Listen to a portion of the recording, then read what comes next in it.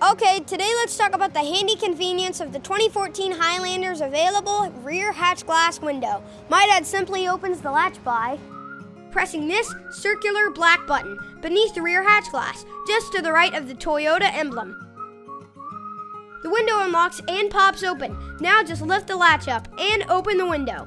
See how super convenient it is for just throwing your packages or sports stuff back there or quickly taking out groceries without having to open the lift gate.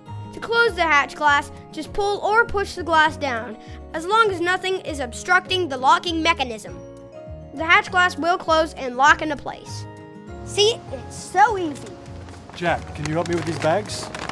Not now, Dad. I'm talking to my people. Toyota. Let's go places.